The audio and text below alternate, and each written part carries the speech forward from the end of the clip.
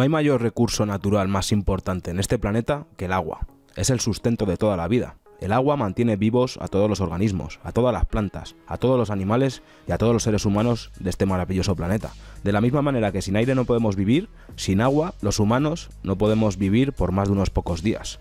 Debido a sus guerras climáticas y el control que establecen sobre el clima, la sequía está golpeando a puntos estratégicos generalizadamente en todas las partes del mundo, y los sistemas de agua cada vez están más contaminados por el modo de vivir que nos han impuesto estos genocidas. Si bien el petróleo jugó un papel sumamente relevante durante el siglo XX, el agua se está considerando el recurso natural más valioso del siglo XXI. Ellos lo saben y por eso bajo las sombras se está llevando un plan siniestro de privatizar el agua en todas las partes del mundo.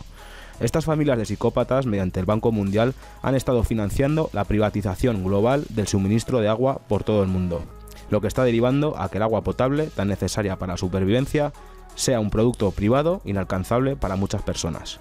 Literalmente se están muriendo de sed y de enfermedad debido a los avariciosos especuladores corporativos psicópatas que una vez más están robando y codiciando el bienestar humano y la vida misma. Y ya hasta han prohibido recoger agua de lluvia en tu propia casa en muchas partes del mundo. Es alucinante. Pero esa es su agenda manifestada, reducir el rebaño. Y qué mejor manera de matar rápidamente a la población humana que tomar la plena propiedad y el control total sobre el suministro de agua de la Tierra. Y eso es lo que está pasando ahora mismo. De hecho, a día de hoy se mueren más personas por enfermedades transmitidas por el agua que por todas las guerras y conflictos combinados. Cada hora mueren 240 bebés por agua tóxica. Un millón y medio de niños menores de 5 años mueren cada año por cólera y fiebre debido a las condiciones insalubres del agua. Estos hechos increíblemente tristes y alarmantes ilustran cuán significativo e importante es el suministro limpio de agua dulce para mantenerse con vida en este planeta. Tomando el control del suministro de agua limpia de la tierra, se logra convertir el agua en un producto de propiedad privada que solo controla las corporaciones y los bancos. Simplemente hacer que el agua sea inasequible y por lo tanto inaccesible para las personas más pobres del planeta es una forma extremadamente efectiva, aunque muy siniestra, de reducir el llamado problema de la superpoblación. Aproximadamente 3 de cada 10 personas en todo el mundo carecen de acceso al agua segura. Estamos hablando de 2.100 millones de personas. A puertas cerradas, estos psicópatas enfermizos se reúnen periódicamente y se otorgan el privilegio de debatir sobre lo que es mejor para la humanidad y el planeta según sus creencias y dogmas. Durante muchos años, este importante tema de la privatización y el control del agua como un medio conveniente y más efectivo de abordar el problema de la superpoblación ha sido regularmente discutido, junto con temas relacionados con la geoingeniería, los organismos modificados genéticamente, las vacunas, el uso excesivo de antibióticos, la planificación de guerras por el petróleo y el agua. Esto está elaborando políticas globales diseñadas para aumentar la desestabilización política, la pobreza y socavar las economías. También la radiación nuclear y una serie de otros conflictos y medios sacrifican a la población humana con el desarrollo de técnicas de anticoncepción. De hecho, la Fundación Bill y Melinda Gates ha financiado 78 investigaciones diferentes en la Universidad de Carolina del Norte, ni más ni menos que para desarrollar técnicas de anticoncepción por infertilidad, como por ejemplo por ultrasonido para esterilizar el esperma masculino. También han financiado estudios para desarrollar estas técnicas utilizando sus vacunas, los alimentos modificados genéticamente y el agua. Bajo la apariencia de un supuesto progreso en el desarrollo de los países, estas familias de psicópatas, mediante el Banco Mundial, a beneplácito del Vaticano, están privatizando el agua en todo el mundo. De hecho, es la Corporación Financiera Internacional del Banco Mundial quien financia y presta el dinero a las empresas privadas que gestionan y se hacen cargo de los derechos del agua en todo el mundo, a nivel municipal, regional y nacional. De hecho, existe un foro internacional del agua donde Nestlé, Coca-Cola, PepsiCo, Dow Chemicals, Veolia Suez, Tames, Betzel, Petrobras, por nombrar algunas, se unen con el Banco Mundial, el Banco de Desarrollo Americano y diferentes organismos de la ONU para enfocar prioritariamente la privatización del agua. Ellos quieren el control absoluto del agua. Y no olvidemos que también están detrás el Centro Internacional de Evaluación de Recursos de Aguas Subterráneas, que es parte de la UNESCO, cuya misión es compartir información sobre los recursos hidráulicos subterráneos en todo el mundo con el objetivo de protegerlos, enfocándose principalmente en la evacuación de acuíferos transfronterizos, el monitoreo de aguas subterráneas. Ya lo tienen todo controlado, ya saben dónde está el agua. En general, esta organización es la suma de un tremendo coloso complejo de instituciones tecnocráticas que gradualmente están asumiendo el control de los recursos mundiales del agua dulce, y esto está sucediendo bajo nuestra inactiva mirada. Nos tienen tan entretenidos con sus ideologías y teorías que no nos damos cuenta. Gracias al dinero público invertido en estas infraestructuras, el negocio es redondo. Muchos países no tienen otra opción que privatizar el agua, ya que si no, dejarían de recibir fondos para supuestamente desarrollar el país mediante el Banco Mundial. Es el pez que se muerde la cola.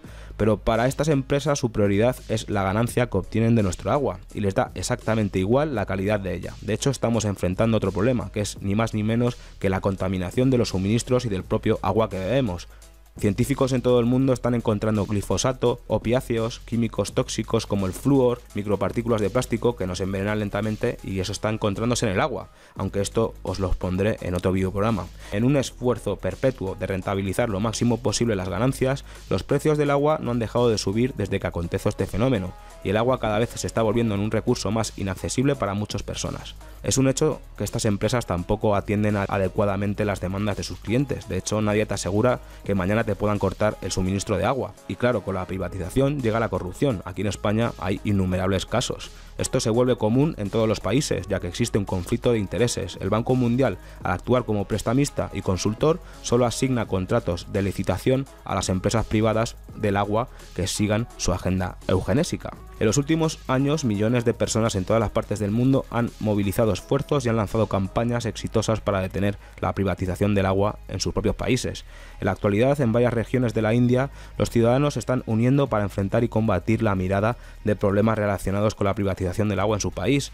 Recientemente en Nagpur, la ciudad más grande de la India central, donde se desarrolla la primera asociación municipal del país con una empresa privada de los servicios públicos del agua, ha originado la movilización popular y muchas tensiones desde hace tres años porque la ciudad firmó un contrato por 25 años con Veolia Water para abastecer al agua de 2,7 millones de personas las 24 horas del día, los 7 días de la semana. En cambio, hubo demoras imprevistas que aumentaron los precios del agua de muchas maneras, una corrupción sistemática, además de que hubo una distribución injusta del agua y también hubo fallos frecuentes en el servicio del agua. Esto provocó una protesta generalizada en las calles. También ha habido ciudadanos valientes en Bolivia en el año 2000 que fueron noticia en todo el mundo cuando salieron victoriosos de expulsar de allí eventualmente a la mega empresa de agua Bechel, la quinta corporación privada más grande del planeta, aunque estos países ya han pasado a formar parte de los países que han privatizado el agua como Chile. La historia es siempre la misma, da igual el país que seas, porque esto te va a tocar y te va a suceder tarde o temprano. Fijaros qué dura tienen esta gente que la compañía que alega privatizar el agua en el mundo, Nestlé, sacó una marca de agua embotellada que se llamaba Pure Life, y para embotellar este producto, Nestlé secó dos manantiales subterráneos en Pakistán, robándoles su agua para posteriormente vendérsela en forma de botella. Estos mismos casos se están sucediendo en todo el planeta. Nos roban el agua para luego vendérnosla embotellada. Es una locura. Estas empresas genocidas aseguran una gran ganancia sin tener en cuenta la salud pública y los destrozos en los entornos naturales. Por no hablar de que Nestlé estuvo implicada en el tráfico humano de mano de obra infantil de miles de niños de Mali, Burkina Faso y Togo, que eran enviados a las granjas de cacao en Costa de Marfil, donde Nestlé compraba este mismo cacao. Nestlé controla un tercio del mercado nacional del agua embotellada en los Estados Unidos. Esta compañía ya es conocida por la extracción ilegal de agua de manantial para luego vendérsela. Hasta hay vídeos en internet donde se ven los camiones cisterna directamente robándoles el agua. Los efectos graves acumulativos de privatizar el agua son terribles. Por ejemplo, las personas más desfavorecidas de Yakarta, Manila y Nairobi pagan entre 5 y 10 veces más por el agua que aquellos que viven en áreas de altos ingresos de esas mismas ciudades. Las personas que viven en los barrios marginales del tercer mundo incluso pagan más por el agua que los neoyorquinos o los londinenses de lujo. Este tipo de injusticia e inequidad es obsceno. También hay sitios en África donde el agua está privatizada y las mujeres que no tienen para pagarlo caminan decenas de kilómetros para obtener agua sucia de los ríos o pozos más cercanos. Con frecuencia estas personas mueren junto con sus hijos por contaminación y las enfermedades derivadas. Además de todo lo explicado, la privatización del agua también otorga control sobre la comida, tanto al producirla como al venderla. Debido a estas privatizaciones, el agua no para de subir de precio, lo que hace casi imposible que muchos agricultores y ganaderos sigan con sus explotaciones y las venden. ¿Quién las compra? Las megaempresas. Brasil tiene aproximadamente 8.200 kilómetros cúbicos anuales de agua dulce renovable. Ocupa el primer puesto con aproximadamente un octavo del total de los recursos renovables del agua dulce en todo el mundo, que se estiman en 45.000 kilómetros cúbicos. De hecho, a día de hoy se está llevando a cabo un esfuerzo concentrado en América del Sur que podría hacer que una de las reservas de agua dulce más grandes del mundo pronto caiga en manos de empresas transnacionales como Coca-Cola y Nestlé. Estamos hablando de privatizar la mayor reserva subterránea de agua dulce del mundo.